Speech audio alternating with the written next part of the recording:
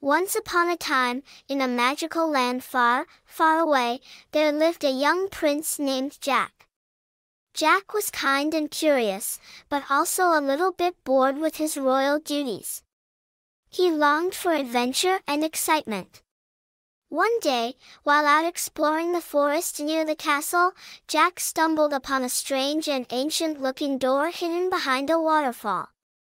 Intrigued, he opened the door and found himself transported to a strange and wonderful land filled with talking animals and enchanted forests.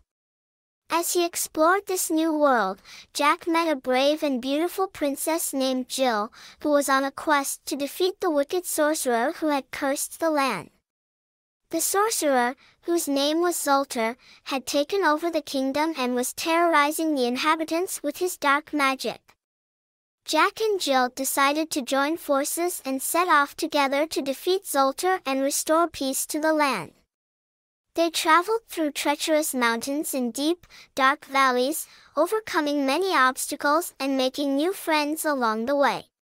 Finally, after many weeks of traveling, they reached the sorcerer's castle. Zoltar had prepared for their arrival and had set many traps and obstacles to prevent them from reaching him. But Jack and Jill were determined, and with the help of their friends, they were able to overcome each and every one.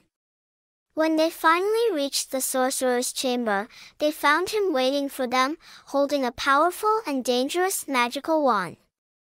But Jack and Jill were brave and resourceful, and with their combined strength, they were able to defeat Zoltar and break the curse he had placed on the land. The kingdom was once again filled with happiness and light, and Jack and Jill were hailed as heroes by the inhabitants. They were married in a grand ceremony, and they lived happily ever after, ruling the kingdom with kindness and wisdom. The end.